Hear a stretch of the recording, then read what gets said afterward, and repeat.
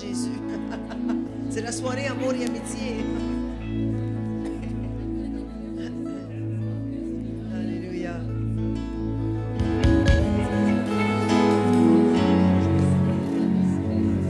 Alors on va prier, ensuite on va commencer.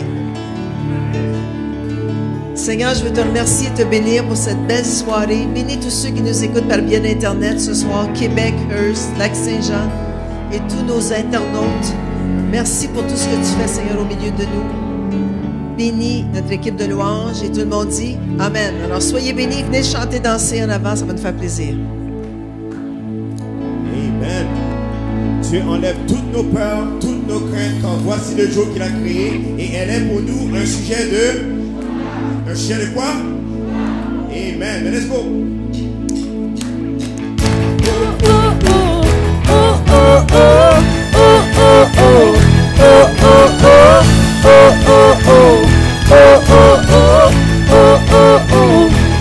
Laisse tomber mes craintes, je renonce aux choses passées.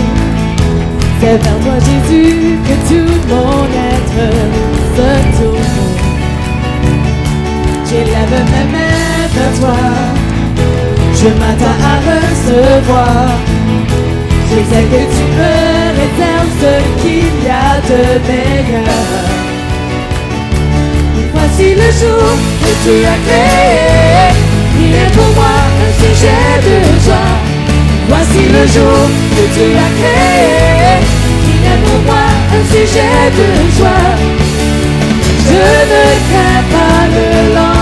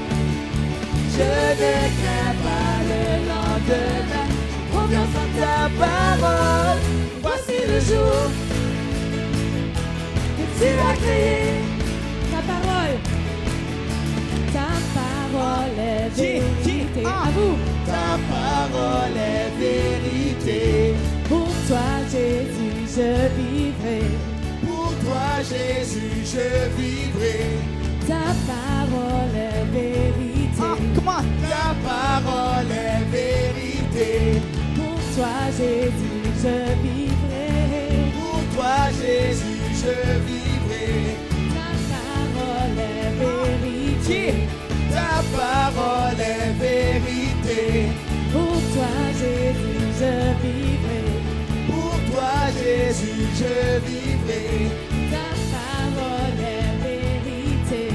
Ta parole est vérité. Pour toi, Jésus, je vivrai. Pour toi, Jésus, je Voici le jour, voici le jour que Dieu a créé. Il est pour moi un sujet de joie. Voici le jour que Dieu a créé? Il est pour moi un sujet de joie de. Je ne crains pas le lendemain. Je te confie mes peurs, mes chagrins. J'irai où tu guideras mes pas, car j'ai confiance en toi. C'est un jour nouveau. Oh, oh, oh, oui, voici le jour. Oh, oh, oh, oh, oh, oh, oh, oh.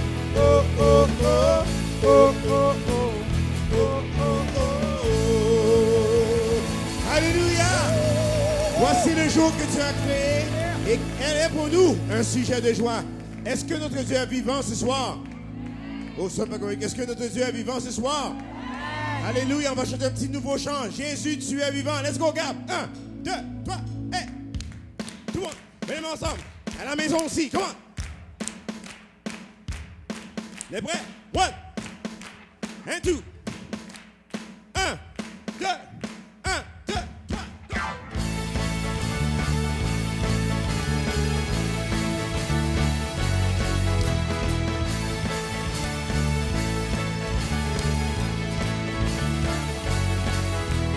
Jésus, tu es vivant, tu es vivant, tu es ressuscité. Jésus, tu es tu es la résurrection et la vie. Hey!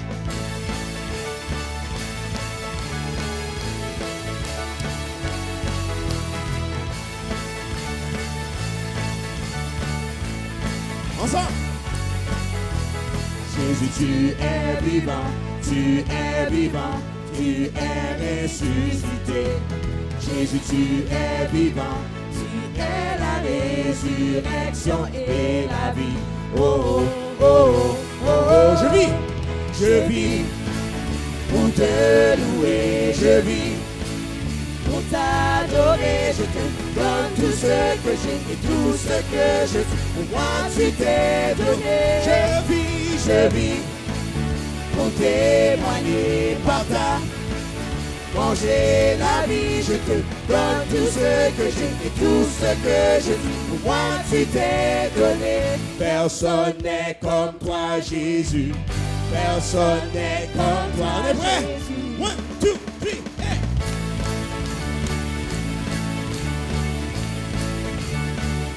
Si notre Dieu est vivant, j'entends un cri de joie après toi. Un, deux, trois. Jésus ensemble.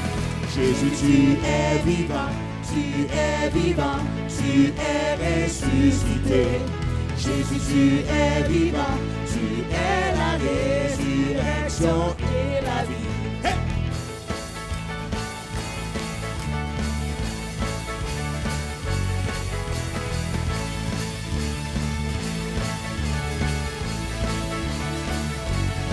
Jésus.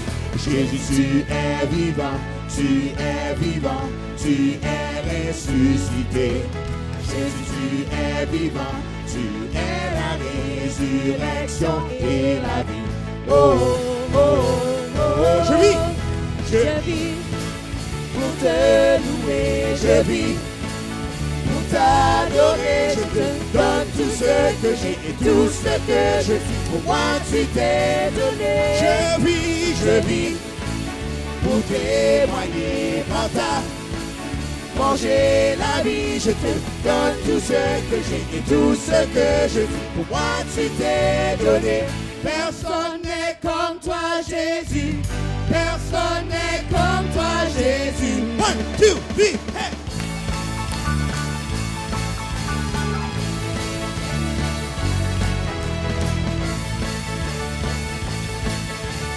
Alléluia. Jésus, je ne veux que toi. Ensemble. Jésus, je ne veux que toi. Et je ne vis que pour toi seul.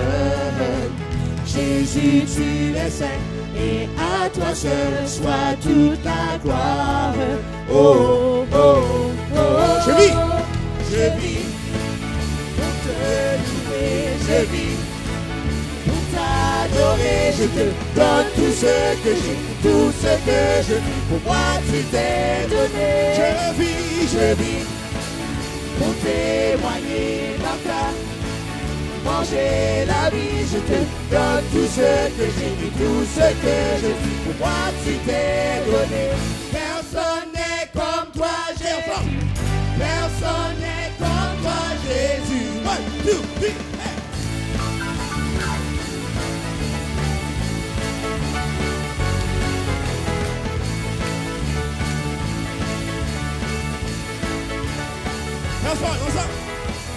Personne n'est, personne n'est, personne comme toi. Chantons ensemble.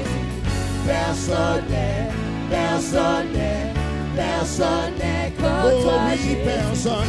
Personne personne personne n'est toi, Jésus.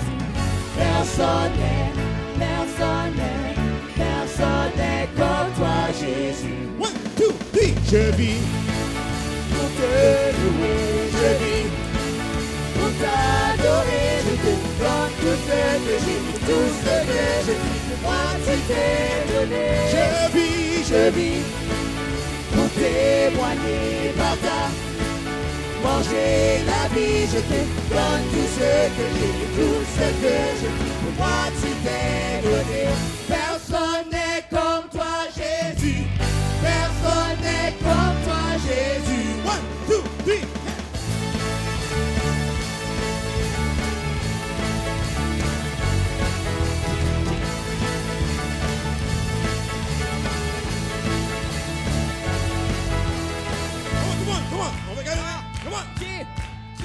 Est-ce que j'ai un peuple ici qui aime le Seigneur ce soir? Oh, hallelujah! Est-ce que j'ai un peuple qui sait que Dieu compte toutes nos faiblesses? Et tout le monde. Alléluia.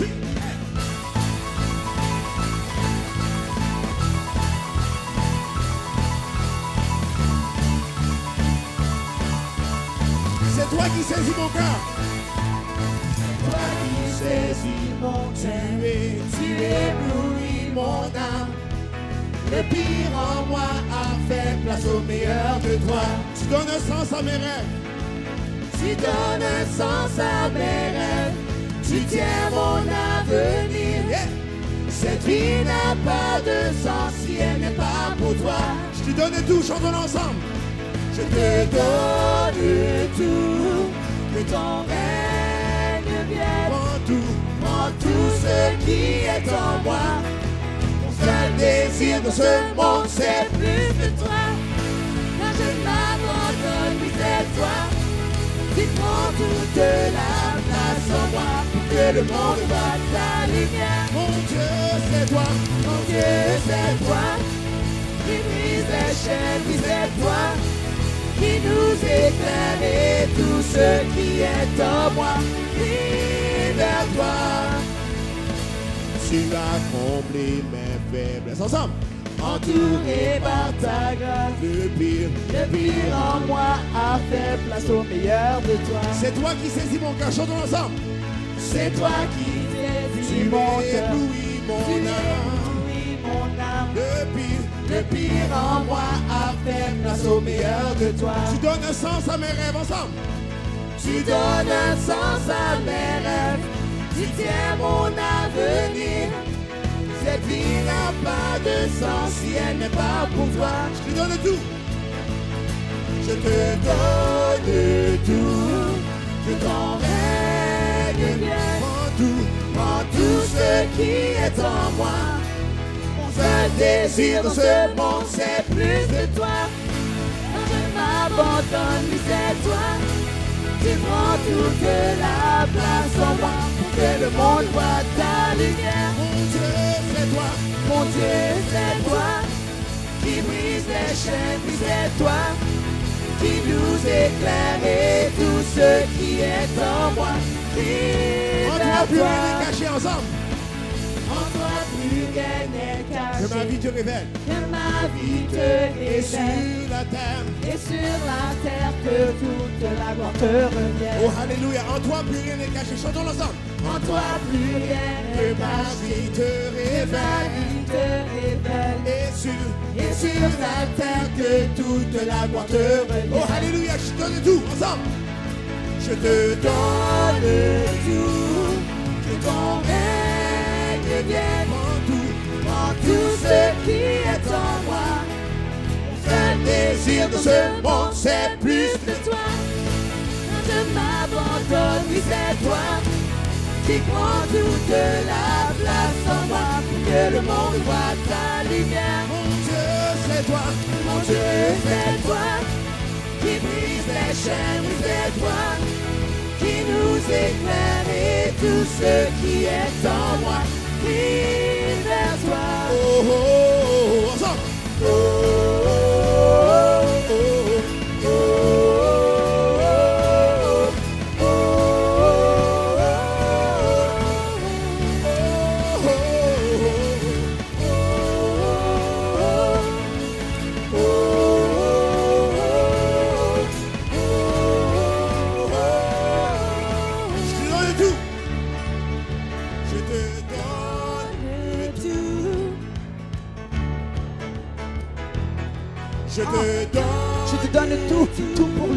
croyez-vous en Avons-nous un rendez-vous au ciel avec le seul Dieu qui croit en nous? Yeah. Alors allez restaurer les âmes perdues et même désespérées, les cœurs brisés, affligés, ébranlés, troublés, même déconnectés. Yeah.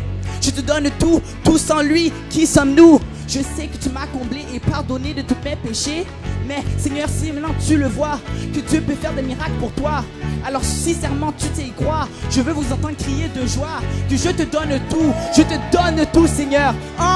Yeah, je te donne tout. Que ton règne. Que ton règne vienne. Prends tout ce qui est en moi. Mon seul désir dans ce monde, c'est plus de toi. Quand je m'abandonne, oui, c'est toi qui prends toute la place en moi pour que le monde voit ta lumière. Mon Dieu, c'est toi. Mon Dieu, c'est toi qui brise les chaînes, c'est toi qui nous éclaire et tout ce qui est en moi crie vers toi. Oh, Oh, oh,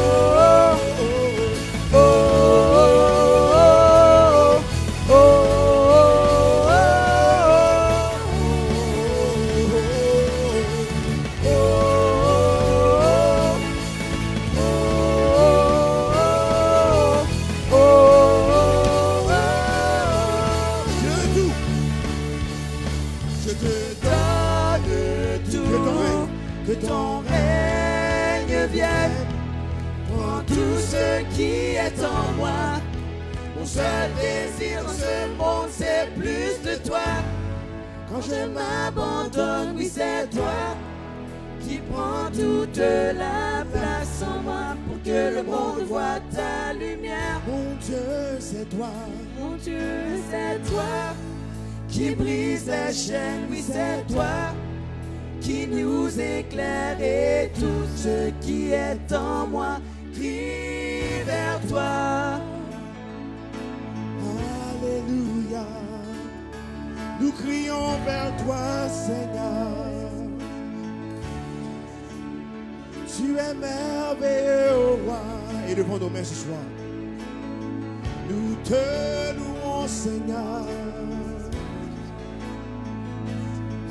Alléluia. Tu es merveilleux, Seigneur.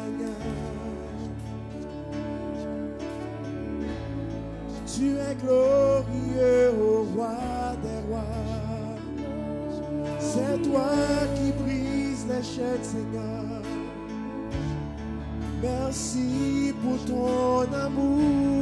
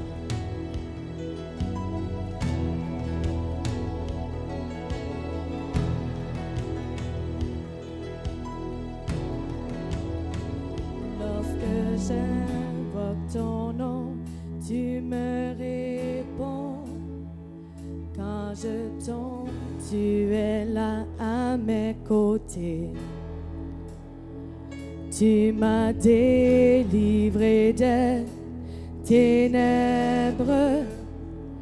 Maintenant j'ai l'espoir d'une vie nouvelle,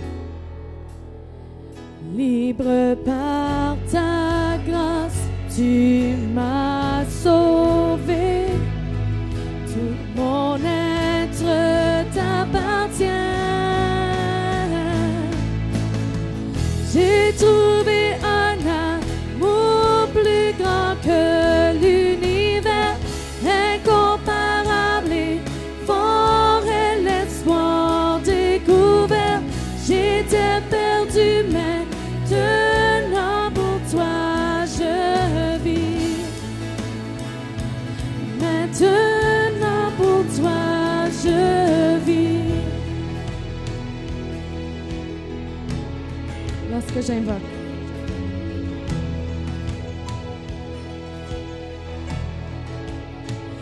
Lorsque j'invoque ton nom, tu me réponds. Quand je tombe, tu es là à mes côtés. Tu m'as délivré des ténèbres. Maintenant j'ai l'espoir d'une vie nouvelle. Libre par ta tu m'as sauvé, tout mon être t'appartient. J'ai trouvé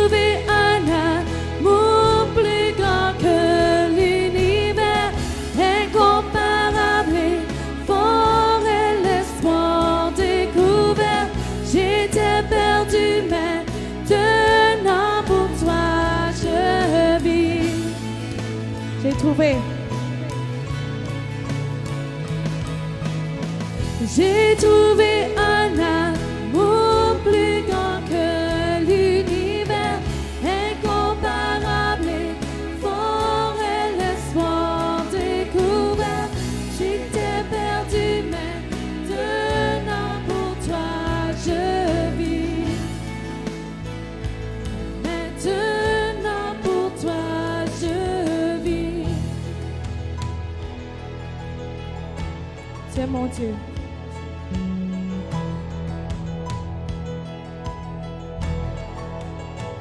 Tu es bon Dieu, ma seule fondation.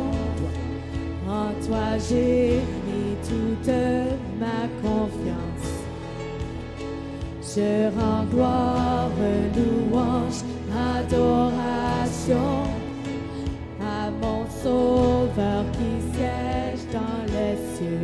libre, libre par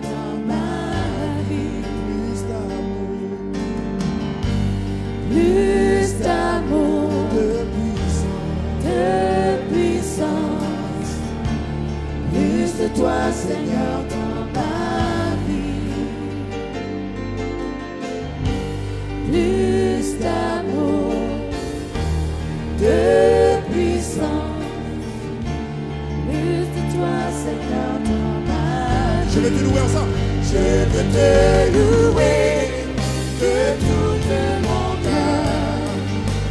Je veux te louer de toute ma force. Je veux te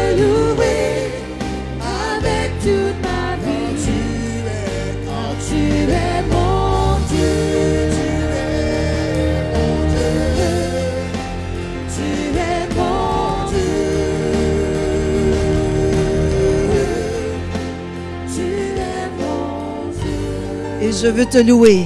Levons les mains ce soir.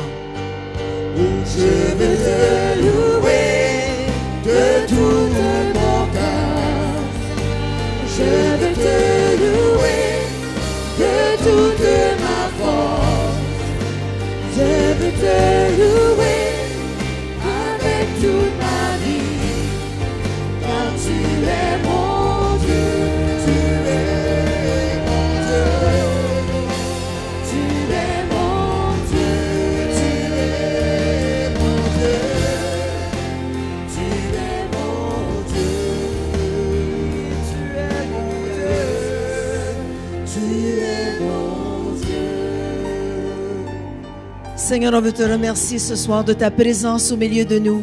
Merci de ta toute puissance, Seigneur Dieu.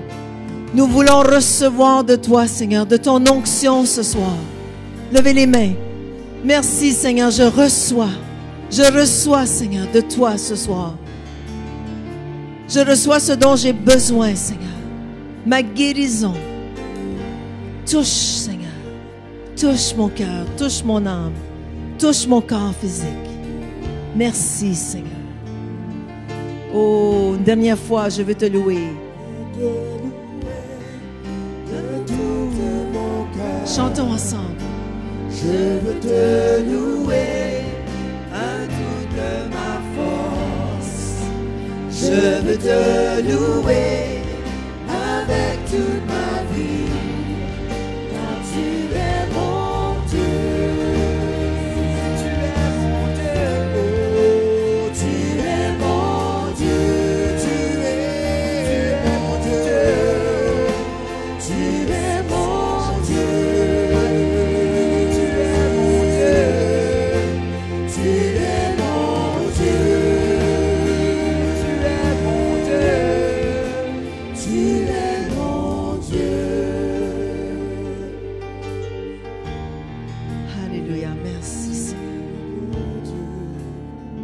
Tournez-vous vers quelqu'un ce soir et dites-lui, le Seigneur est mon Dieu.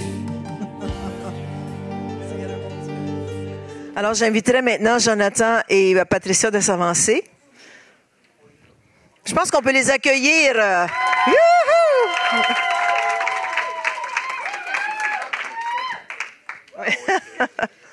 La femme est toujours à gauche de l'homme, c'est le côté du cœur, c'est ça. Bon.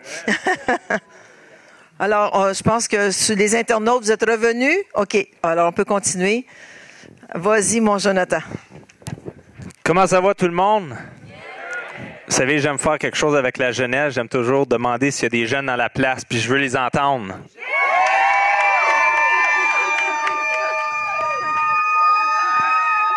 C'est vraiment aux extrémités ce soir, les jeunes. Vous savez, euh, juste, pour commencer, euh, j'aimerais juste remercier le, le Seigneur avant, avant tout. Puis, euh, Seigneur, je te remercie pour cette soirée. Seigneur, je te remercie, Seigneur, que qu'est-ce que tu as fait, Seigneur, qu'est-ce que tu fais et qu'est-ce que tu vas faire? Merci que tu parles à chacun des cœurs qui est ici ce soir. Au nom de Jésus, Amen. Savez, j'étais tellement excité quand j'étais à Québec juste dernièrement, dimanche, puis euh, je regardais des, vidéos de, Pasteur Mathieu, Pasteur Jean, puis euh, j'avais juste hâte de les revoir. Puis je savais qu'ils revenaient aujourd'hui ou hier. Donc ce matin, j'étais dans le coin où je travaille, puis j'ai été voir Pasteur Mathieu. J'ai dit, Ah, j'ai hâte d'entendre des témoignages de feu. Vous savez, quand on devient en feu, on veut se tenir avec du monde qui sont en feu. Puis je partageais de plus en plus, puis je me dis, wow, euh, Pasteur Mathieu, Pasteur Jean, Pasteur Louise, merci d'être des mères et des pères spirituels pour nous. Puis euh, on aime vraiment l'Église du Centre Réveil, Centre Réveil Québec, euh, Lac- Saint-Jean, même si on connaît pas. Mais euh, on connaît, mais on n'a jamais été. Oui, OK. C'est une bonne façon de s'inviter. Mais vous savez, tout juste avant de commencer, j'ai une vidéo que j'aimerais présenter. OK? Cette vidéo est en anglais, mais pour ceux qui ne comprennent pas l'anglais, voici ce que ça dit. Juste avant de commencer, j'aimerais juste expliquer. Euh, c'est une vidéo qui dit que c'est un monsieur qui, regarde pour des voitures. Il magasine pour des voitures. Il dit Waouh, waouh, quelles sont belles ces voitures. Il rentre à l'intérieur, il m'a dit Waouh, l'odeur est tellement bonne à l'intérieur de cette voiture. Puis il dit On continue à regarder. Puis tout d'un coup, il dit Plus que je me rapproche de la voiture, puis je fais le tour, puis j'examine, dit J'ouvre la valise, puis waouh, il y a tout plein de déchets. Et donc, il dit souvent, c'est comme ça dans les relations. Des fois, on regarde l'extérieur, on magasine, puis il est trop tard. Une fois marié, on ouvre la valise, puis on voit tout plein de déchets. Et donc, c'est le pasteur T.D. Jakes qui explique cela en anglais pour ceux qui comprennent l'anglais. Amen. Fermons les lumières, puis on peut mettre le son dessus. I'm surrounded by these beautiful cars, these luxury uh, cars, these Cadillacs. Man, aren't they lovely? Absolutely marvelous. Big old wide rim tires, plush seating. It looks real good on the outside. Take this one over here. It's really, really special. I sound like I'm selling cars on it, but I'm after something. You just follow me. It's a really, really sharp. Look at that interior. How nice and plush it is. You get up in this boy, I tell you, got some. Mm, smells like it's new. Probably drives like it's new. It's lovely. It's wonderful. And anybody who was trying to pick a car looking at this one, you you probably go for it. It's all shiny and bright. You know, cars are kind of like people. If you just if you just go by the outside, they they look really good and really sharp because they prepared it just for you, for you to look at, for you to enjoy, for you to be enticed, for you to be excited by. But man, let me tell you, I mean, this one, this one is beautiful. Smoke gray, big wide tires. This this looks good, and everything's just as good as the rest of them. It looks as nice as the rest of them do, and then all of a sudden you fool around and you say, "I'm just going to take this out a little bit closer." Uh, wait a minute, wait a minute, I got a problem. Somebody had somebody had cleaned this thing up. This is a mess, y'all. They got all kind of junk in the trunk. Just like you, and you, and you, and you, and you, and you. Touch your neighbor and say, I got junk in the trunk. Yeah, that's right. Everybody does. And this is what you don't know when you date them or when you meet them. You're so caught up with how they look on the outside. You're so caught up with externals. You're so caught up with the plushness of the way they talk and what they drive and where they live. And then you fool around, you start getting in here and you start seeing all this junk. André Charette. I don't know whose car this is, but I know they've been to McDonald's. They, they've been to McDonald's because I can tell by the junk. They got oh, they had a look, look, look. They had an oil change recently. Yeah, they because they still got some Pennzoil in here. Yeah, they've they, they've had an oil change recently. They've been to Wendy's too. Oh, whoever whoever owns this car likes to play games because I can tell by the junk they got in the trunk. It's all they've been to Colonel Sanders too. What I'm trying to get you to see is that when you start dating people, you never get to see what's on the inside. You never get to realize that in spite of the slick talk or the nice looks or the shapely body or even the scriptures they quote or the way they walk or their gait or their presentation, you don't know that they got all of this junk. The junk comes from all the places they've been. You don't collect it in a day, but over years and years and years, and not cleaning yourself out and getting yourself together, all of your past is represented by the junk you got left in your trunk. And then you get up in front of a preacher like me and we pronounce you man and wife and you get married and the honeymoon and then the honeymoon is over and you get home and the next thing you know, all the junk comes out. Just little by little, my God, it starts coming at you. Every time you turn around, there's all this stuff coming at you.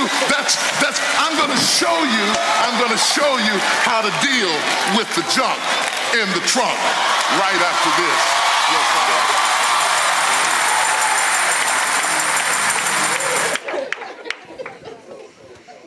Vous savez que cette vidéo, c'est tellement vrai. Euh, des fois, on, on regarde toujours l'extérieur puis on dit Waouh, quelle beauté. Puis euh, des fois, la personne ne veut pas ouvrir cette valise-là. Pourquoi? Parce qu'elle ne veut pas voir les blessures qui se sont dans le passé, les places où ce qu'elle a été, ses défauts, ses faiblesses, ainsi de suite. Mais il est important que si nous voulons nous engager dans une relation, que nous puissions ouvrir cette valise-là. Puis la seule façon qu'on puisse ouvrir cette valise-là, c'est lorsque notre conjoint ou un ami ou peu importe se sent en sécurité. Ça, c'est une des clés qui est cruciale que nous, allons parler ce soir. C'est lorsque nous, nous- on a la sécurité, on peut ouvrir le coffret. Moi, je sais pas, mais si j'aurais cette voiture-là, ça ressemblait un peu comme ça dans le passé, avant que je rencontre mon épouse. Ceux qui me connaissent, non, non. Mais vous savez, moi, j'aurais eu la peur de dire, wow, faut pas que ma femme voit ça. Ah, on va prendre une voiture, je vais même la louer pour pas qu'elle voit ça. Non, non, mais c'est un peu comme ça quand on, on s'est rencontrés. Vous savez, il est tellement crucial qu'on choisisse le partenaire et ouvrir les yeux. Dr. James Dobson dit ceci. Avant de choisir notre partenaire, nous devons avoir nos yeux grands ouverts. Nous devons examiner. Mais une fois mariés, nous devons avoir les yeux à moitié ouverts. Donc, je crois que c'est important. Mais vous savez, pour ceux qui ne nous connaissent pas, moi et ma femme, on s'est rencontrés euh, bien avant qu'on soit sauvés. Et les deux, euh, on ne s'aimait pas. OK? Même qu'on se traitait des, des beaux noms. Mais je ne sais pas si tu veux euh, expliquer un peu euh, ton bagage, un peu de, que tu avais dans ta valise. Puis après ça, tu vas compter le tien, OK? Ouais. Euh, mais moi, je vais rester assis, c'est correct? Euh, non, quand on, on se, on se connaissait justement avant de venir à l'église, puis certain qu'on avait les deux des gros bagages, incluant moi. Puis euh, je suis venue à l'église justement avec un énorme bagage. Euh, j'étais une femme qui était battue physiquement, moralement aussi, psychologiquement, j'étais abusée. Donc quand je suis arrivée ici, j'étais complètement à terre. J'avais un gros bagage. Puis Jonathan, lui, ben la première chose qu'il a faite, c'est qu'il voulait venir me voir. Il voulait me parler, il voulait, mais il connaissait pas mon histoire encore. Fait que c'est ça. Fait que une fois qu'il a connu mon histoire, la première chose qu'il a essayé de faire, c'est de, de me sentir, me faire sentir en sécurité, d'apporter une confiance parce que j'avais pas confiance en personne. Me faire trahir comme ça, me faire abuser comme ça, tu n'as plus confiance en personne. Tu te sens plus. Aussi, j'avais pas d'assurance en moi-même, j'avais pas d'estime, fait que je m'éloignais de.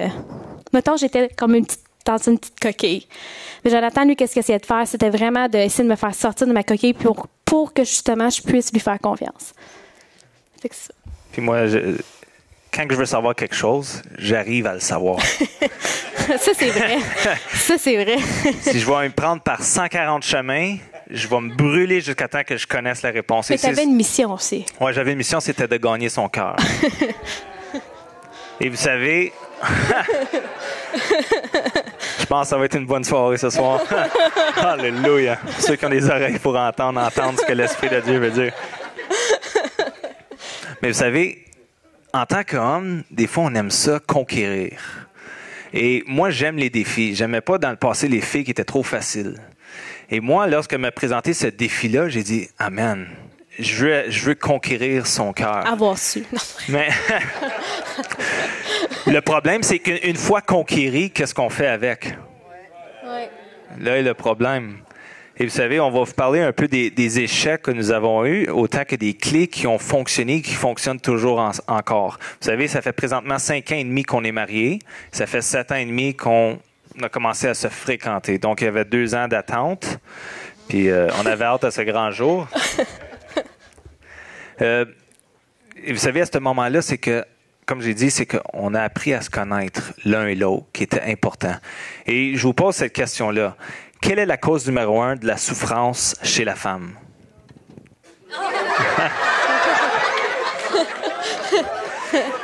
Et ça, c'est Naomi qui a répondu? Oui.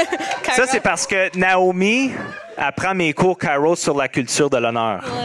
Donc, oui, elle a raison. Une des causes numéro un de, de- de- comment je peux dire, des souffrances chez les femmes, c'est causé par l'homme. Je vous explique pourquoi. 1 Pierre 3,7 nous dit ceci. Si vous êtes mari ou homme, mari, montrez à votre tour de la sagesse dans vos rapports avec vos femmes, comme avec un sexe plus faible. Honorez-les, comme devant aussi héritier avec vous de la grâce de la vie. Qu'il en soit ainsi, afin que rien ne vienne faire obstacle à vos prières.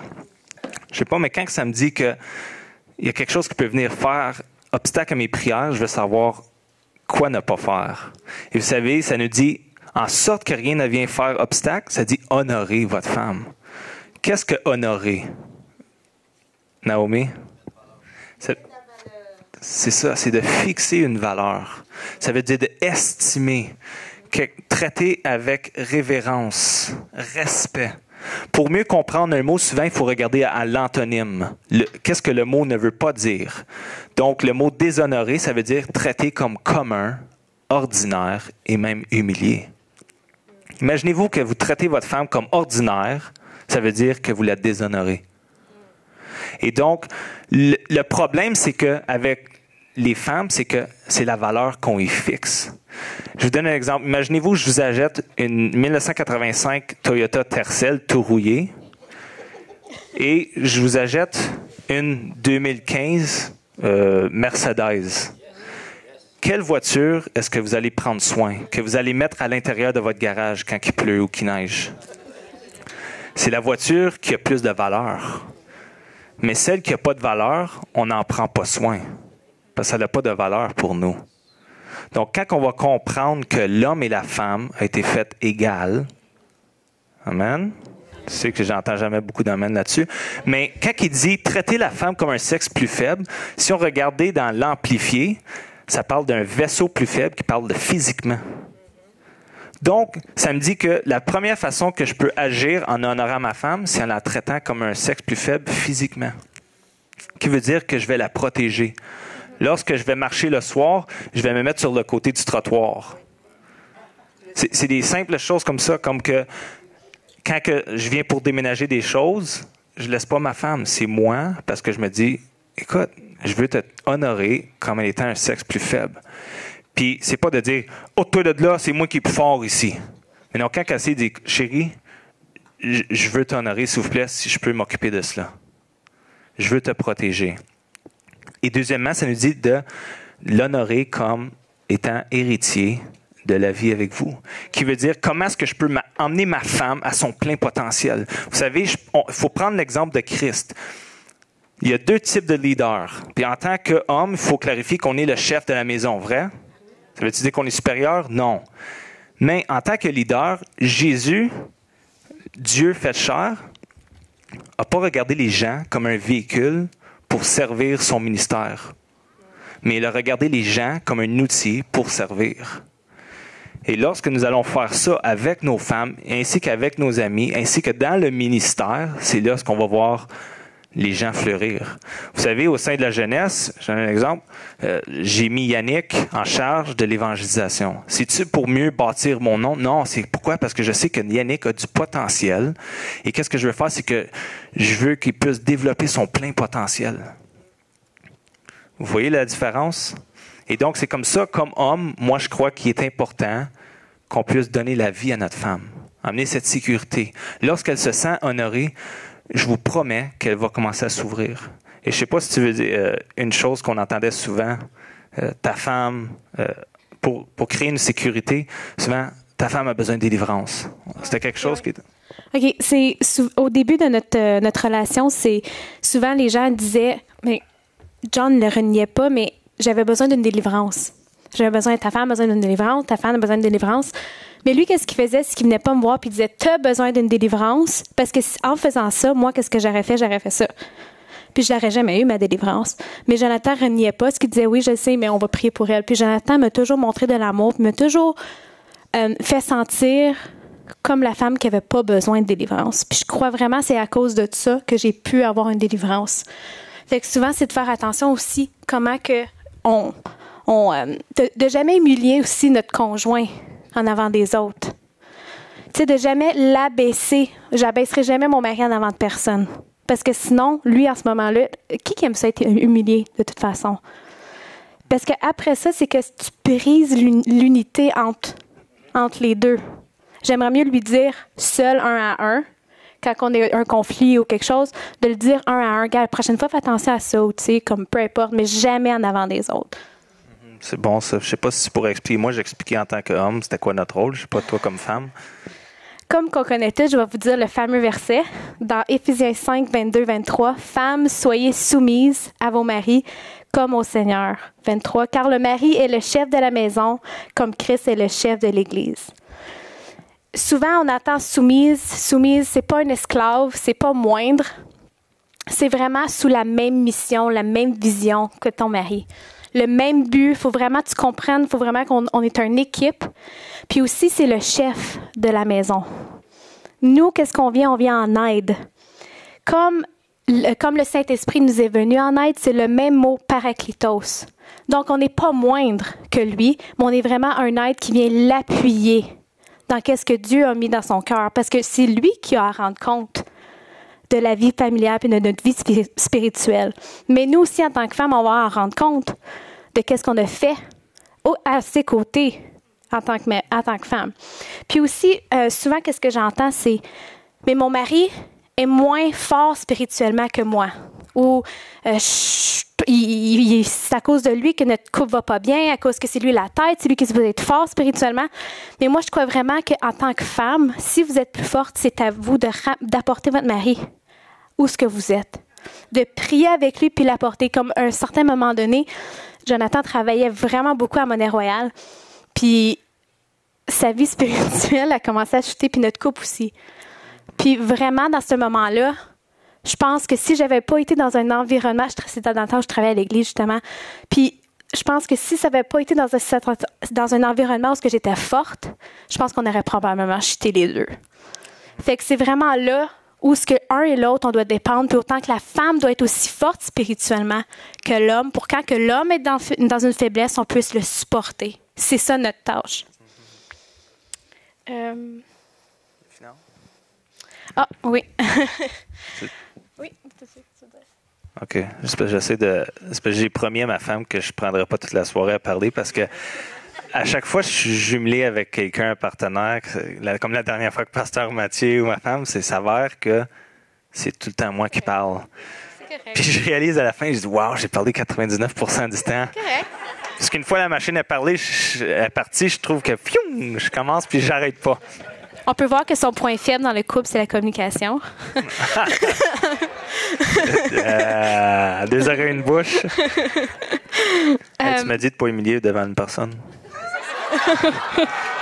On va parler d'hypocrisie tantôt. Non. Euh, Mais, tu dis, je parle des finances ou tu veux le faire? Allez. OK. Euh, vous savez, une cause, la cause numéro un des divorces, c'est les finances. Le stress qu'amènent les finances. Et souvent, comment est-ce qu'on peut éliminer ça? C'est que nous devons communiquer. Devons nous asseoir ensemble. Puis dire, OK, je suis chef. Ça, c'est dans notre couple. Ça, c'est à vous de décider. Mais nous, en tant que couple, j'ai dit, écoute, comme chef de la maison, Dieu parle à la tête, ou je suis comme le CAO, le chef administrateur, et il est important pour moi que je puisse gérer les finances. Puis en même temps, c'est que ça va amener une sécurité. Moi, mon caractère, je suis capable de supporter beaucoup plus de stress que ma femme. Et donc, je voulais pas que ma femme ait ce stress-là ou ce fardeau-là. Et donc, pour moi, dans mon couple, il est important que l'homme soit en charge des finances. Mais il y a des hommes qui sont plus émotionnels que la femme. Puis c'est pour un bout, en tout cas. Mais Mais aussi au début, quand on s'est fréquenté financièrement, tu n'étais pas stable. Non, absolument pas. Vraiment, c'est quand que c'est vraiment quand que moi j'ai dit moi je sens vraiment faut que tu t'occupes des finances, il a pris la responsabilité puis sérieusement s- je pense que ça t'a même responsabilisé, puis c'est là que tu es devenu, je pense, vraiment aussi. euh, Oui, absolument. Parce que si nous prenons pas notre rôle comme homme, la femme se sent pas en sécurité. Ce qui arrive, c'est qu'elle essaie de, tout de suite de prendre la tête. C'est là que deux têtes ensemble causent une division. Parce qu'il y a deux visions. Et on voit dans le mot deux visions, le mot division. Et donc, ce qu'on veut faire, c'est qu'on veut travailler sur l'unité. Vous savez, un, passage qui, me fascine, puis que je parlais à, Québec euh, juste dans le matin, mais on connaît l'histoire de la tour de Babel. Dans Genèse 11, ça nous dit, et l'Éternel dit, voici, ils forment un seul peuple et ont tous une même langue. Et c'est là ce qu'ils ont entrepris. Maintenant, rien ne les empêcherait de faire tout ce qu'ils auraient projeté. Qui veut dire, Dieu a dit, oh oh, ils viennent de découvrir une clé que rien va ne les empêcher. Et c'est pour ça qu'on voit le thème de cette année Unis pour grandir, qui veut dire si nous venons en unité et on parle une seule langue ensemble, il n'y a rien qui va nous arrêter. Tout ce qu'on demande quand on est unis, il n'y a rien qui va être impossible. À plus forte raison, nous qui avons l'Esprit de Dieu. Vous savez, c'est des gens qui étaient mal, qui faisaient le mal et qui avaient des mauvaises intentions. Mais Dieu dit, je dois confondre le langage. Une fois que le langage est confondu, ils ne peuvent plus travailler ensemble. Donc, qu'est-ce qu'il faut faire en tant que couple? C'est de parler le même langage, qui est le langage de l'amour. Et c'est ça qu'on va parler dans la communication. Et maintenant, on, saute tout de suite dans la communication, mais juste un, petit point sur l'unité. Vous savez, je faisais le ménage hier dans, dans la chambre et euh, j'ai trouvé un vieux papier. Puis ça datait de depuis 2011, donc quatre ans passés. Et euh, c'était ma femme qui avait écrit cela. C'était écrit sur le côté gauche, les prières répondues par Dieu. Puis il y avait une liste. Et le côté droit, c'était les besoins ou les attentes ou ce qu'on attend présentement une réponse. Et les deux, on l'avait oublié, mais sur cette prière, on avait dit, Seigneur, on veut trois enfants. Et la première, on veut que ce soit une fille. Puis les deux autres, c'est des gars. J'ai toujours dit. Et j'ai toujours dit, ma femme, avoir oublié cela, j'ai dit, je sais qu'on va avoir une fille en premier. Donc, on peut voir que Dieu répond aux prières lorsque nous sommes unis. Il y a une puissance, que tu sois en couple ou que tu, trouves quelqu'un, un ami, un confident, puis vous partagez les mêmes sentiments, tout ce que vous demanderez en son nom, il va vous l'accorder. Donc, ça, c'était juste un petit point en ce qui concerne l'unité. Euh, J'ai promis, je m'en laissais ma femme parler. Ah. Euh, le premier point, c'est l'écoute. Souvent, dans une relation, c'est que quand on communique, c'est qu'il y a souvent un qui parle plus que l'autre, puis que donne pas la, la chance à l'autre de communiquer clairement. fait qu'au lieu d'écouter, souvent, on a deux oreilles puis une bouche. Fait que c'est de vraiment prendre le temps de oui, j'ai communiqué mon message. Attends, moi aussi, j'ai quelque chose à te dire. Puis de vraiment prendre le temps de écouter puis de pas avoir de distractions. Téléphone cellulaire off ou silence, télévision off, laptop, on s'assied, c'est le temps de communiquer, on communique clair. Parce que je trouve que au début, les deux, on avait un petit problème de communication parce que moi, je communiquais pas du tout. J'étais hyper enfermée. Puis Jonathan, lui, il communiquait trop. Il était trop dans ma bulle. fait qu'on a pu ajuster justement comme cette communication-là. Puis il a vraiment fait de moi, comme il m'a vraiment fait sortir de ma coquille d'une façon où il a appris que des petits peu par petit peu, on peut faire sortir des petites choses. Juste par, justement, comme qu'il disait, en se sentant, se, se sentant vraiment plus en sécurité. Une femme a besoin de se sentir en sécurité pour pouvoir être libre, pour pouvoir se sentir, pour pouvoir s'exprimer librement. Ouais, puis juste un, petit tip, parce que moi, j'ai commis cette erreur-là assez souvent, là, mais je me suis repenti. Mais, vous savez, quand quelqu'un a de la difficulté à parler, puis il s'ouvre pour la première fois, mais que tu es comme ça, puis que tu écoutes à moitié, ce que tu fais, c'est que la personne vient de se fermer.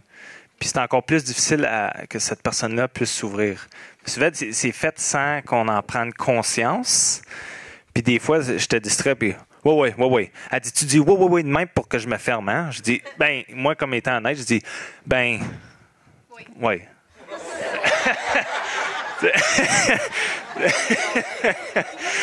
fait que ça, c'est pas bon, mais on apprend de nos erreurs puis on grandit. OK? Donc, juste qu'on puisse. mais c'est parce que ça, ça va avec le prochain point qui dit il faut être vrai. OK? Puis moi, pour moi, c'est la transparence a toujours quelque c'est toujours été important. faut être transparent, mais être délicat aussi. Oui, absolument. La sagesse. Mais c'est moi, c'est tout pour la comment je peux dire la crédibilité. Faut toujours être vrai. Puis même en tant qu'ami ou en tant que couple, souvent on entend cette expression-là, puis euh, un peu partout. Comment ça va? Euh, Ça va bien, pour la grâce de Dieu. Tu sais, mais cette personne-là, tu sens qu'elle est en train de mourir. Tu comprends? C'est. Mais c'est vraiment. mais après, ça cause la difficulté à croire la personne, de dire non, non, mais vraiment, comment tu te ressens? Ça bien, frère, c'est Dieu. Comment je dis, c'est, c'est d'être vrai. De dire, en réalité, ça va pas. Puis, je sais pas si à travers des épreuves, peut-être que tu peux expliquer euh, un peu. Ben, j'ai un petit témoignage là-dessus, puis c'était la première fois où je pense j'ai vraiment été honnête avec Jonathan. C'est quand que euh, dans cette épreuve-là, vous saviez, ça nous a pris quatre ans avant d'avoir un enfant. On a eu des fausses couches, puis à chaque fausse couche, j'étais non, j'ai la foi, j'ai la foi. Mais la dernière fois que euh, j'étais enceinte, on a su que j'étais enceinte après l'accident, puis une semaine après, j'ai commencé à avoir des segments. Puis c'était vraiment, je crois vraiment qu'un miracle s'est passé parce que j'ai vraiment perdu des caillots de sang. Puis c'était vraiment la fausse couche qui se produisait. Puis là, je, me rappelle, j'étais juste là. Puis j'ai dit à Jonathan, j'ai dit, j'ai plus de foi, là, je suis plus capable. J'en ai plus, là. Fait que là, Jonathan, il dit, ben, j'ai dit, moi, je lui ai dit, si toi t'en as, je dis, je vais mettre, je vais me baser sur ta foi, puis vas-y. Puis je crois vraiment, à cause que j'étais honnête et vrai avec lui, je crois vraiment c'est pour ça qu'on a reçu notre miracle. Parce que lui, a pu intercéder, puis a vraiment pris euh, autorité sur l'esprit de mort qu'il avait sur cet enfant-là. Puis vraiment, on a le résultat. on a le résultat de, tout ça. Puis souvent, c'est ça qui arrive, c'est qu'on se dit, OK, mais si je dis j'ai pas la foi, je vais paraître comme un faible. Et donc, je veux toujours paraître spirituel. Donc, oui, va bien. Puis, oui, c'est bien. Il faut toujours confesser. Tu comprends? Mais en tant que confident, des fois, il faut dire, j'ai pas la foi. Puis à ce moment-là, c'est à dire, j'en ai plus. Elle dit, c'est fini. C'est fini. J'en veux plus d'enfants. Je veux plus essayer parce que ça fait trop mal. Mais à ce moment-là, c'est là que j'ai pu intercéder. J'ai pu voir que la bataille était spirituelle. Mais qu'est-ce qu'elle a arrivé? C'est qu'elle aurait dit, non, non, on, garde. Tu comprends? Qu'est-ce que j'aurais fait? J'aurais pas pris garde. J'aurais pas été violent. J'aurais pas été honnête non plus. Ouais. J'aurais pas été aussi violent. Là, j'ai vu la sévérité des choses, puis j'ai dit, c'est, assez. L'ennemi m'a assez volé. Puis ça, c'est grâce avec le voyage avec Pasteur Jean en Belgique qui m'avait rencontré le témoignage de son épouse à ce temps- à ce temps-là avec la lèvre. Puis comment est-ce que la foi est venue amener la guérison? Puis que ça l'a fait, c'est que ça a commencé à bâtir ma foi, bâtir ma foi. Puis enseignant Kairos, si je lisais plus ma parole et la foi devient ce qu'on entend et ce qu'on entend vient de la parole de Dieu. Puis là, tu viens que ta foi est inébranlable, puis à ce moment-là, boum, tu viens chercher ton miracle. Et donc, c'est comme ça que ça s'est produit. Mais aussi, en tant qu'ami, Romains 12, 9 nous dit que l'amour, la charité ne soit sans hypocrisie. D'être vrai l'un envers l'autre, mais avec douceur, comme elle a dit. C'est pas de dire Ah, je t'aime mon frère, mais quand je m'en vais chez nous, on va parler dans ton dos. Parce que la plupart du temps, je peux vous dire, les choses viennent qu'à savoir. Puis ça fait tellement mal entendre quelqu'un parler dans ton dos que tu n'as plus cette confiance-là avec la personne. Et on est, on est venu qu'à briser, à rompre une relation juste pourquoi? Parce qu'on a décidé de ne pas être vrai. Et donc, la crainte des hommes, c'est une des grandes choses. Moi, je me suis embarqué dans une relation avec une fille à l'époque, avant. Je, revenais d'une conférence en feu. Et je m'étais dit, je me garde pur pour le Seigneur. C'est fini, ces choses-là. Des choses du passé. J'avais pris une décision, mais voici cette belle voiture qui s'en vient. Je dis, Hallelujah. Tu comprends? J'ai fait du pouce et j'ai embarqué. Mais embarquant dans cette voiture, j'ai regardé dans le miroir, j'ai pu voir qu'il y avait plein de déchets. Puis, mais qu'est-ce qui est arrivé, c'est que cette personne-là a dit, on est un couple maintenant, on est un couple. Puis la peur des hommes ou de déplaire à quelqu'un, je me suis embarqué dans cette relation-là. Pensant que, ah non, je vais être assez fort, je vais être assez fort. Mais ce que ça m'a amené, ça m'a emmené dans les ténèbres encore plus profondément. Juste pourquoi la crainte des hommes. Être vrai. Parce que euh, le couple, ça peut tellement faire mal quand on choisit quelqu'un que même du début, on le sait qu'on n'est pas pour être avec. On se dit, man, je le savais que je devais pas être avec cette personne-là. Mais j'avais peur de la déplaire. Je l'aime tellement, je veux pas lui faire mal. Mais au bout de la ligne, tu vas lui faire encore plus mal, puis tu vas te faire mal à toi-même. Puis une fois que vous êtes blessé, c'est encore plus difficile que quelqu'un qui perd son emploi. En tout cas, relation, en tout cas. Il faut continuer. Mais est-ce que ça va en ce moment? Amen. Euh, troisième chose, vous savez, j'ai demandé à, beaucoup de personnes, parce que j'ai fait des appels, j'ai dit, en ayant la même connaissance aujourd'hui, cette sagesse, qu'est-ce que tu ferais de différent si tu avais à reculer le temps? Et ces personnes-là, ce qu'ils m'ont dit, c'était la langue, ce qu'on a confessé de notre bouche. Souvent, ben, t'es pas content avec moi, va te trouver quelqu'un d'autre. Si t'es pas content, pogne tes bagages, sac ton camp. Excusez pour euh, la France ou euh, peu importe dans le monde. Mais vous savez, le pouvoir de la vie et de la mort est au bout de notre langue. Et on peut tellement détruire, puis c'est tellement, on peut plus retourner en, euh, en arrière. Ce qu'on a dit, c'est fait. Le dommage est causé. Puis j'aime ce que Pasteur Jean dit toujours. Vous avez un jardin. Et l'eau que vous, vous semez, ce jardin, c'est soit de l'eau salée ou de la bonne eau qui va nourrir ton jardin et la faire fleurir. Vous savez, il n'y a rien de plus euh, mauvais ou euh, dépressif d'arriver à la maison puis que la personne a un langage déprimant. Ah, tu parles d'une journée aujourd'hui. Ah, mon patron est comme si.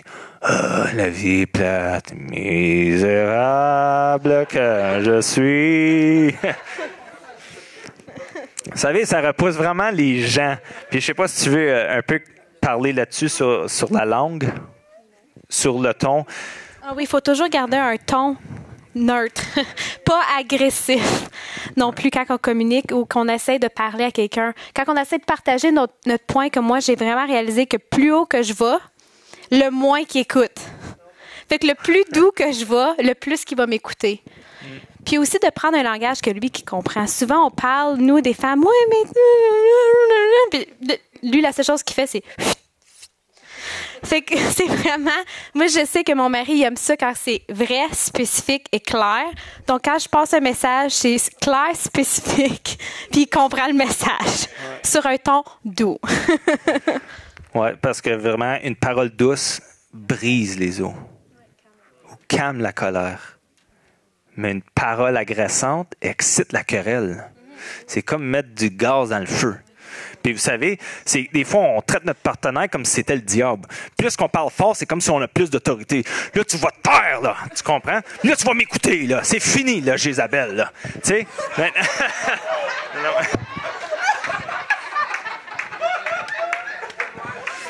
J'ai jamais dit ça en passant.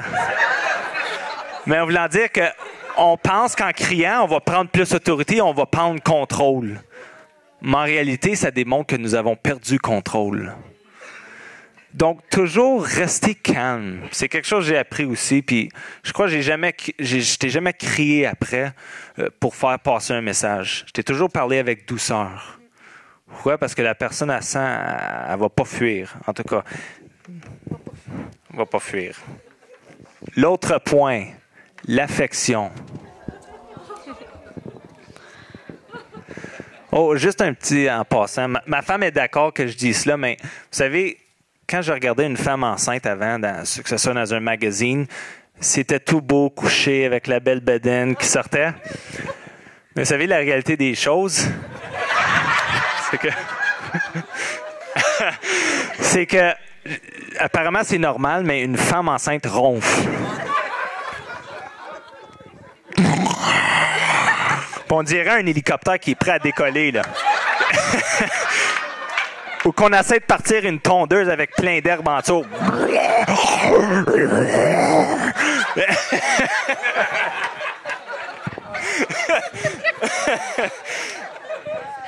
Mais je lui faisais la remarque dernièrement, puis on rit de ça maintenant parce qu'on peut rire nos, euh, nos faiblesses.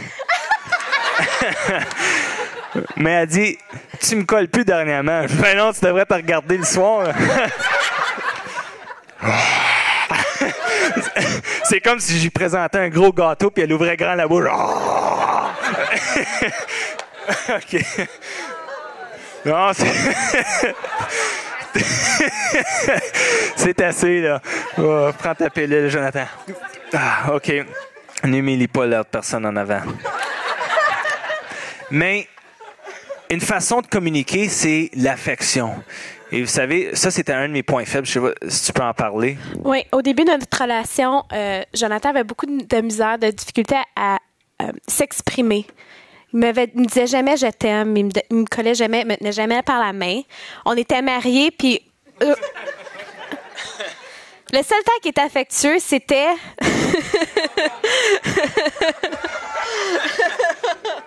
fait que moi, en tant que un, j'étais vraiment insécure dans ce côté-là. Fait que moi, je disais, moi, je t'en donne pas si tu commences pas à me montrer d'autres choses, là. J'ai dit, va falloir que tu travailles un petit peu. fait que vraiment, on a développé ça. Comme Jonathan, heure, il il me dit toujours je t'aime, il me montre de l'affection. Puis pas nécessairement pour avoir quelque chose, mais vraiment parce qu'il m'aime. C'est vraiment quelque chose que des fois, un couple a besoin pour juste pour avoir d'assurance. juste pour avoir de l'assurance aussi en tant que couple, en tant que femme. Surtout des femmes, on a besoin de plus d'assurance, on a besoin de la sécurité, de la confiance. Puis je crois vraiment qu'un homme qui dit à sa femme qu'il l'aime, puis qui montre de l'affection, ça prouve vraiment beaucoup. Ça solidifie le couple aussi. Ouais, c'était vraiment un de mes défauts, c'est que je n'arrivais pas.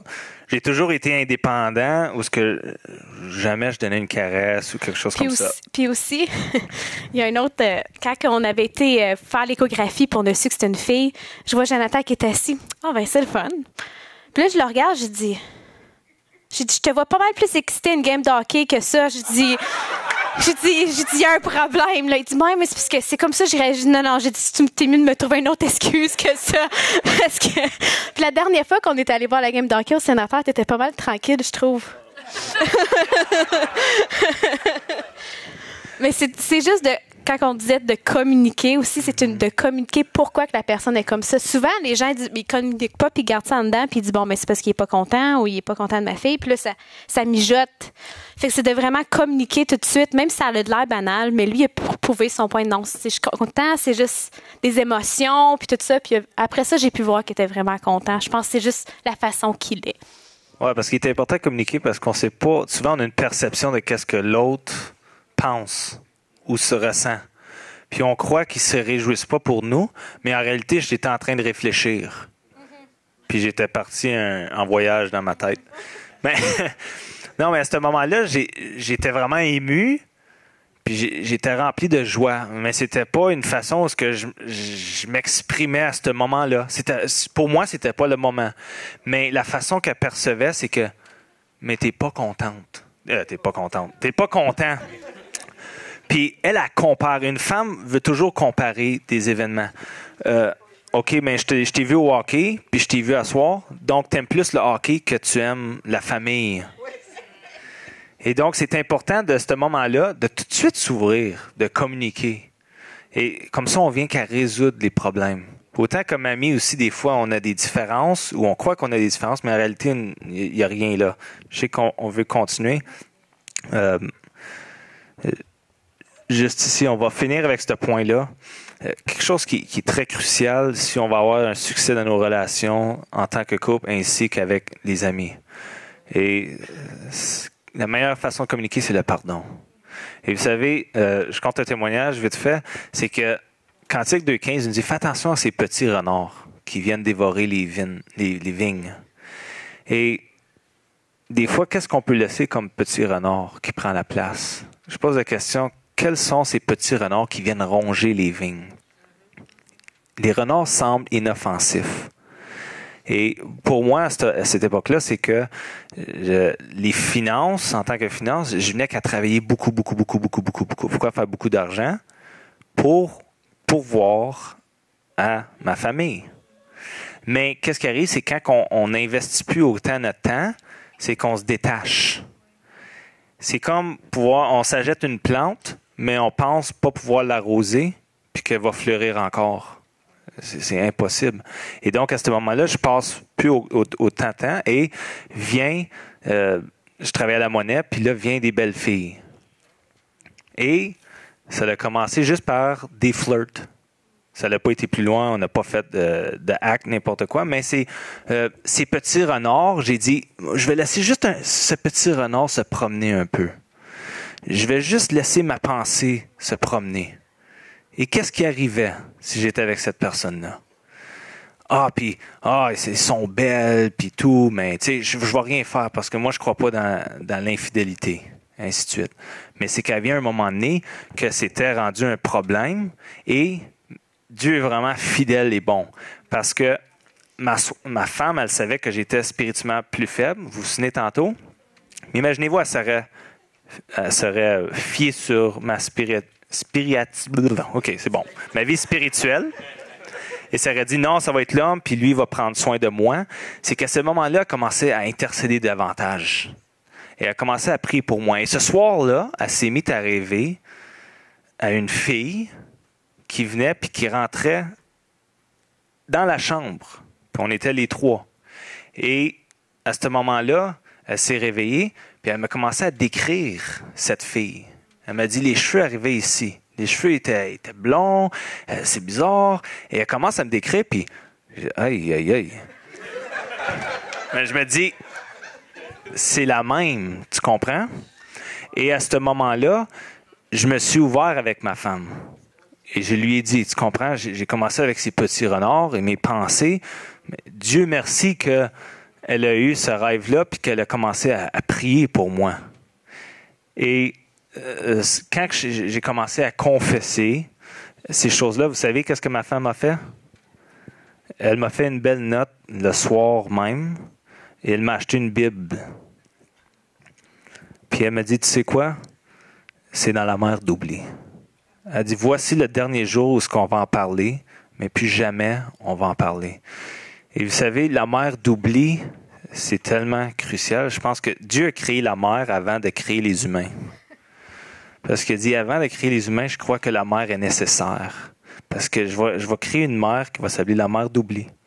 Et vous savez, ma femme n'a jamais ramené ce point-là. Et qu'est-ce qu'elle a fait avec elle, c'est que j'ai pu commencer davantage à m'ouvrir. Mes faiblesses, je peux lui communiquer mes faiblesses. Pourquoi? Parce que j'ai pas peur de la façon qu'elle réagit. Imaginez-vous, ma femme serait arrivée et elle dit Gros cochon, gros pervers, tu vas t'en aller coucher dehors, puis, que jamais je te vois faire ça parce que là, je vois tout graffiner ta, ta vieille voiture. ben, ma vieille voiture, euh, non, non. Mais vous savez, imaginez-vous qu'elle aurait réagi de la sorte. Qu'est-ce que ça l'aurait fait? C'est que je dis, OK, mais je vais commencer à cacher les choses. On serait éloigné en tant que couple. La prochaine fois qu'il y a une faiblesse qui vient, j'en parle plus, là. Là, qu'est-ce qui arrive? C'est que ça vient un cachet, un secret caché dans mon cœur. Plus jamais je vais lui en parler. Mais aujourd'hui, je peux vous dire que c'est ma confidente, ma meilleure amie, puis on se parle de tout et de rien. Puis de tout et de rien. Et euh, je crois que ça, prend vraiment de, l'humilité aussi dans le pardon. Vous savez, Jésus-Christ a considéré chacun de nous étant plus important que lui-même. Il a vu qu'on avait plus de valeur que lui-même. Sinon, il n'aurait pas envoyé son fils Jésus sur la croix. Pourquoi est-ce que je te donnerais un dollar pour recevoir 25 sous en retour? Donc imaginez-vous l'amour de Dieu. Il voit nous plus importants que lui-même. Même si on avait péché, il a dit, Père, pardonne-leur, parce qu'ils ne savent pas ce qu'ils font. Donc il a, pris, cette humilité de dire juste j'ai commis aucune erreur, mais je décide de les pardonner pareil. Et vous savez, pour continuer dans n'importe quelle relation, il faut apprendre à se pardonner et pas ramener les choses du passé. Parce que j'ai jamais vu quelqu'un avancer, mais regarder en arrière. Regardons en avant. Vous savez, mutuellement, c'est que on confesse les uns aux autres nos faiblesses et on avance. Je ne sais pas si dans vos relations, vous avez eu des mauvaises expériences, soit avec des amis, peu importe, ou ce qu'il a dit, cette personne-là m'a blessé, plus jamais je vais m'ouvrir. Vous savez, un piège, c'est mettre des attentes sur les personnes. Je mets une attente sur mon mari, je mets une attente sur ma femme. Mais une attente, fais attention. Parce que quand que la personne ne vient pas à rencontrer tes attentes, tes besoins, tu, deviens tout de suite offensé. Et donc, il ne faut pas mettre des confiances en l'homme, parce que l'homme va faillir. Maudit celui qui se confie en l'homme, parce qu'on est humain. Quand est-ce qu'on va apprendre à dire C'est quoi, tu as fait une erreur, c'est pas grave. Continuons. Tu sais, des fois, on a un débat, puis on, veut tellement que notre point, euh, comment je peux dire, euh, un sujet ou une discussion, puis on a un désaccord. Mais je ne suis, pas en accord avec elle. Je la connais pas bien, Patricia. Est-ce que je vais dire non, c'est moi qui ai raison? C'est quoi? Ma relation avec toi est plus importante que mon point. Donc, continuons ensemble. C'est quoi? Je suis prêt à m'humilier et dire que tu dois prends la, la gloire. Mais on, veut vraiment terminer avec ça parce que je sais qu'on a, passé l'heure. Désolé pour cela. Mais euh, je veux juste remercier Dieu tout pour, juste pour sa grâce, son amour. Puis si on peut juste fermer les yeux ensemble. Je ne sais pas si vous êtes dans ce lieu où que vous avez eu des déceptions peut-être dans des relations. Peut-être qu'il y a des gens qui vous ont blessé, puis dit plus jamais je vais ouvrir mon cœur. Je vais garder des choses cachées parce que j'ai peur de me faire blesser davantage. Mais vous savez, vous devez céder cette place, cet endroit à Dieu, qui puisse remplir cette place de son amour. Parce que lorsque cet amour vient, ça bannit toutes les craintes. Que ce soit la crainte du rejet, de ne pas être accepté, de ne pas être à la hauteur. Il n'y a rien comme l'amour de Dieu. Et Père, je te demande en ce lieu, Seigneur, si tu peux juste déverser ton amour sur chacun de nous. Qu'on puisse reconnaître, Seigneur, qu'on est accepté de toi qu'on n'a pas besoin de rien faire, Seigneur, malgré nos erreurs, malgré nos fautes. Peu importe que ce soit un divorce, Seigneur. Père, je te remercie, Seigneur, qu'il n'y a aucune condamnation dans ce lieu. Tu dit, ah, mais moi j'ai failli avoir su cela avant. Ah, arrêtons de regarder en arrière et allons de l'avant. Père, je te remercie que tu puisses te révéler, Seigneur, ce soir même, à chacun des cœurs. Viens guérir, restaure ces cœurs brisés. Pâche tout le monde dans le nom de Jésus. Et tout le monde dit.